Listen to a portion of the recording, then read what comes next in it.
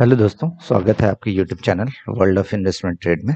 आज हम बात करने जा रहे हैं आलोक इंडस्ट्री शेयर के बारे में जो कि आज पाँच परसेंट पंद्रह परसेंट करीब ये बढ़ रहा है और अभी भी मार्केट चालू है। ये पंद्रह से बीस परसेंट भी और ऊपर भी जा सकता है। इसकी बहुत बड़ी न्यूज़ है। आ, उसके न्यूज़ के बारे में जा, जानेंगे उसके थोड़े फंडामेंटल के बारे में जानेंगे। उसका टारगेट भी देखने की कोशिश करेंगे कहाँ तक जा सकता है। और इसके न्यूज़ मेजर न्यूज़ जानेंगे। और हम क्या कर सकते हैं हमें खरीदना चाहिए नहीं खरीदना चाहिए वो सब डिटेल देखेंगे। तो सबसे पहले देखते हैं आज ये करीब ओपन हुआ 22.40 पे और इसने अभी तक हाईएस्ट बना चुका है 25.75 का और अभी ट्रेड हो रहा है मार्केट चल रहा है तो अभी 25.05 पे ये ट्रेड कर रहा है। तो आज करीब ये 15 परसेंट अभी ऊपर चल रहा है। आ, और आप देख सकते हैं पिछले कुछ दिनों से यहाँ पर कॉन्सेंट्रेट हो रहा था 20-21 के आसपास उसके बाद ये बढ़ना चालू हुआ है।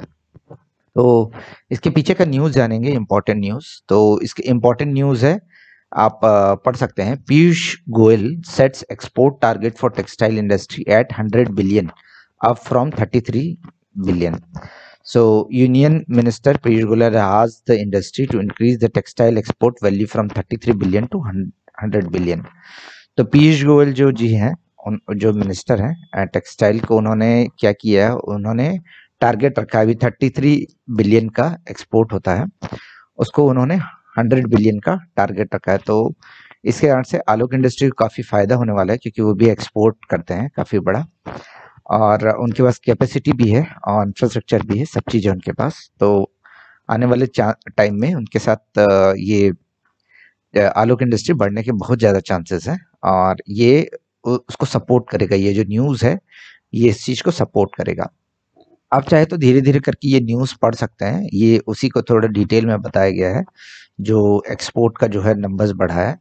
और एक और इम्पोर्टेंट न्यूज़ है, आप देख सकते हैं, यहाँ पर इंसेंटिव की बात कर रही है कि इंसेंटिव जो है 2.5 परसेंट दिया जाता था, अभी उसको बढ़ा करके 4.5 परसेंट किया जा रहा है export of yarn and fabrics of different kinds तो ये भी गवर्नमेंट ने अच्छा किया है इंसेंटिव दे रहा है तो ये भी अच्छी बात है इसके लिए। तो ये दो इम्पोर्टेंट न्यूज़ हैं जिसके कारण से ये शेयर बढ़ रहा है।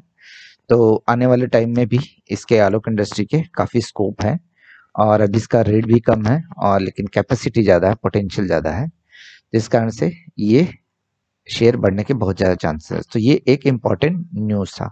आइए थोड़ा देखते हैं इसके फंडामेंटल के बारे में फाइनेंशियल के बारे में देखते हैं। फाइनेंशियल देखेंगे रेवेन्यू के टर्म्स में देखेंगे 2021 में 3,847 करोड़ का रेवेन्यू था। उससे पहले 3,328 का था तो रेवेन्यू बढ़ा है आप देख सकते हैं। नेट प्रॉफिट देखेंगे नेट प्रॉफिट 2021 में minus five six five thousand six hundred seventy three crore का दिखा रहा है। उससे पहले देखेंगे one thousand three hundred eleven का है। बट नेट प्रॉफिट आने वाले टाइम में बढ़ने के बहुत ज़्यादा चांसेस है। आप सभी को पता होगा आलोक इंडस्ट्री को रिलायंस ने खरीदा हुआ है तो इसके बढ़ने के काफ़ी ज़्यादा चांसेस हैं।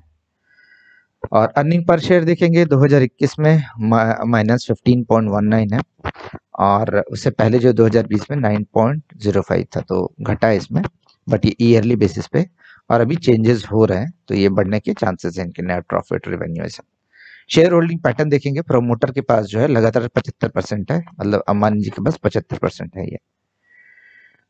एफ़ के पास देखेंगे एफ़ ने इसमें देखिए बढ़ाया अपना स्टेक जून 2021 में 1.3 परसेंट कर दिया उससे पहले देखेंगे 0.9 परसेंट था 2000 मार्च 2021 में।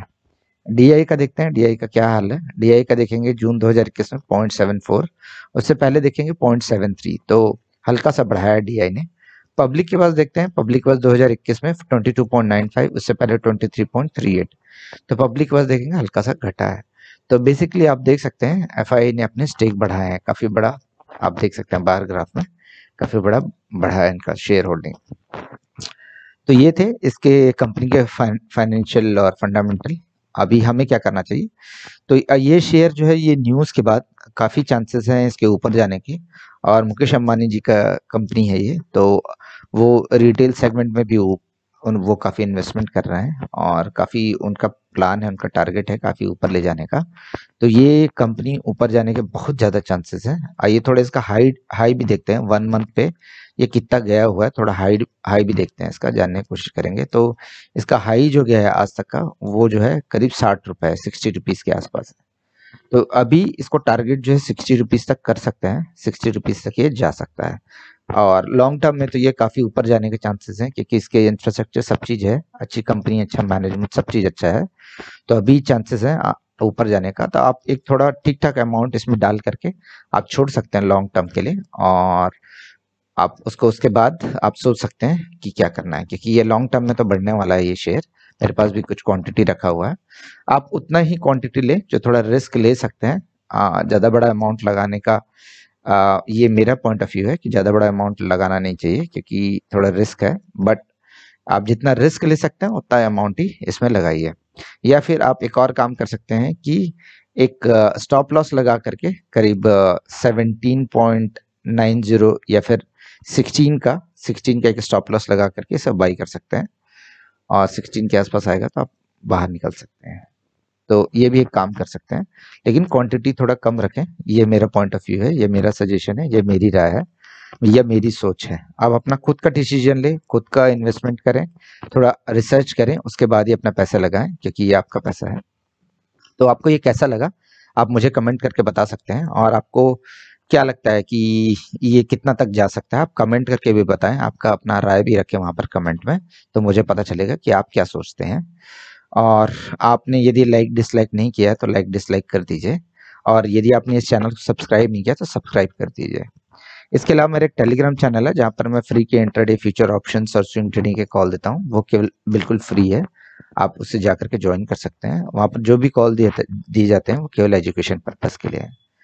तो इस तरीके से मैं ये वीडियो ख़त्म करता हूँ। आप यदि आलोक इंडस्ट्री शेयर में इन्वेस्टमेंट करते हैं तो ये शेयर आपके लिए प्रॉफिटेबल रहे। मिलते हैं अगले वीडियो में। धन्यवाद।